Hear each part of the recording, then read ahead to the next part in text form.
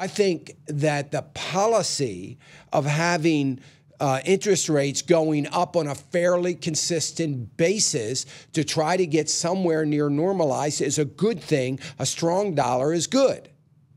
Here's where it's bad. It's not going to be good for the national debt because the national debt is going to, we are going to get very quickly, if we continue to raise, uh, very near a trillion dollars in debt service. Can you imagine adding a trillion dollars to our debt in interest on our debt?